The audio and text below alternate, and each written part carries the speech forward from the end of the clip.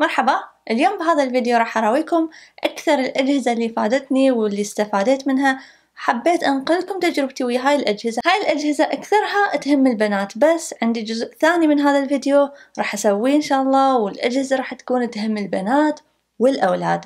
فحتى نشوف هذاك الفيديو اللي هو الجاي أريدكم توصلون هذا الفيديو لأكبر عدد من اللايكات. إذا تقدرون يعني مثلا عشرين ألف لايك بيوم واحد راح أكون كلش فرحانة.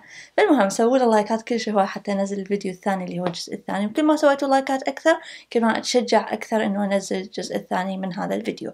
روحوا شوفوا الأشياء اللي عجبتني أو الأجهزة اللي عجبتني وأرجع لكم. أول جهاز هو هذا الجهاز اللي هو عبارة عن لوح مطاطي لتنظيف فرش المكياج. من سيجما طريقة استعماله إنه أنا حاطه بقاع المغسلة بهاي الطريقة وأبدي أنظف الفرش به الفرش الكبيرة على الجهة اليمين والفرش الصغيرة على جهة اليسار. طبعا ما تتخيلون إيش قد هذا الجهاز فادني كلش فادني. ينظف الفرش تنظيف كلش عميق بالإضافة إلى إنه يوفر لي كلش هواية وقت. وهذا الجهاز يعني أنا بصراحة أشوفه إنه ضروري يكون ببيت كل بنية تستخدم المكياج وراح أحط لكم رابط شرائه بصندوق الوصف حتى تقدرون تشتروه. بالنسبة لتقييمي للجهاز هذا بكل صراحة وبكل شفافية أنا أقيمه وانطيه عشرة على عشرة. هذا هو شكل الفرش بعد ما تنظفت التنظيف العميق اللي لازم تتنظفه. شوفوا شلون شكلها. كأنها اليوم أنا مشتريتها. هذا الجهاز أنا مغرمة مغرمة به يعني. الجهاز الثاني هو هذا الجهاز اللي يقشر البشرة تقشير كريستالي اسمه PMD مثل ما تشوفون هذا شكل الجهاز. وهاي الديسكات الصغيرة اللي تشوفوها عليها ذرات كريستال. كل disc عليه ذرات كريستال. تركب براس الجهاز حسب نوع البشرة. كل بشرة لها ديسك خاص بها هذا هو شكل الجهاز. طبعا أنا استخدمته وقشرت وجهي لذلك قاعد تشوفون بعض القشور قشور البشرة موجودة على طرف الجهاز. هاي أنا من قاعد أستخدمه.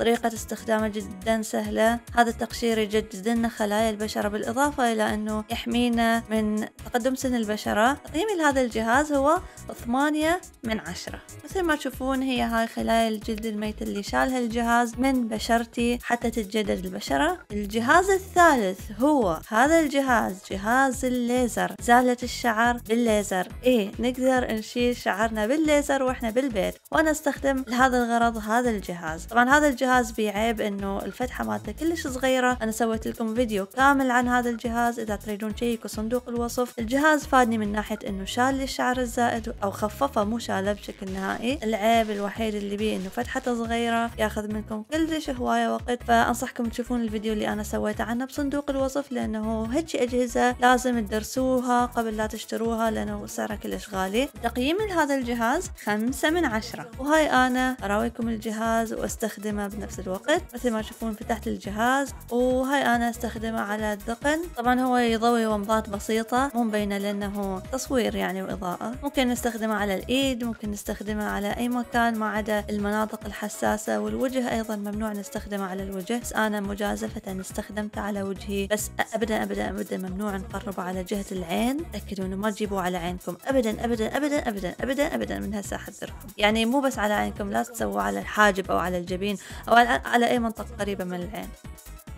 رابع جهاز هو هذا الجهاز اللي هو طبعات الأظافر اللي أنا كلش كلش كلش أحبها ومهووسة بيها. هاي الطبعات موجودة على أطباق حديدية مثل ما تشوفون. نقدر نطبع منها على ظفرنا. عدد لا نهائي من الطبعات يعني أقدر أعيد الرسمة مليون مرة على أظافري. كل ما أمسح أظافري وأعيد أرجع أطبع عليها أقدر أطبع بدون ما أضطر إنه أشتري استكرات الأظافر وبس أستخدمها مرة واحدة وتنذب. لا هاي الطبعات قابلة لإعادة الاستخدام مش قد ما نقدر بس عيبها الوحيد لازم نستخدم وياها مناكير غير شفاف. تقييمي إلها هو سبعة من عشرة. الجهاز الخامس هو هذا الجهاز اللي يكسر ال cellulite ال cellulite هي عبارة عن تجمعات الدهون تحت الجلد نتيجة عدم الحركة. فهذا الجهاز يجي ويكسر هاي الدهون يخليها سلسة وتتحرك وتذوب مع أحشاء الجسم أو مع الدم. طريقة استخدامه أنه من تحت إلى فوق على الأفخاذ. ممنوع نستخدمه باتجاه معاكس لازم نستخدمه من تحت إلى إلى فوق أي باتجاه القلب لازم نودي الدم على القلب فمن تحت لفوق. لأن هذا الجهاز مو مناسب للي عنده ضغط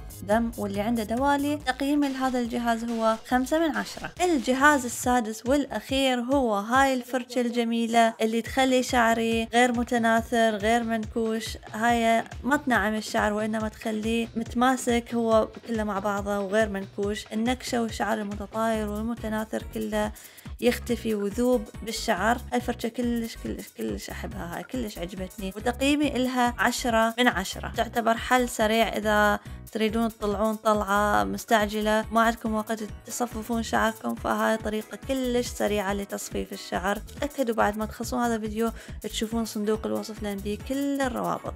أتمنى هذا الفيديو يكون عجبكم أتمنى هاي الأجهزة تكون فادتكم. إذا تحبون أسوي فيديو كامل مخصوص لجهاز واحد من هاي الأجهزة كتبوا لي شنو هذا الجهاز اللي حبيتوه بصندوق قصدي بخانة التعليقات. لا تنسون تنطون الفيديو هذا لايك كبير كلش كلش كلش كلش هالقد وبقد الدنيا وبقد الكرة الأرضية كلها وبقد العالم كله. لايك. واللي مو مشترك بقناتي يضغط على زر الاشتراك جوا حتى توصل لها فيديوهاتي أول بأول. وأشوفكم إن شاء الله بالفيديو الجاي. مع السلامة.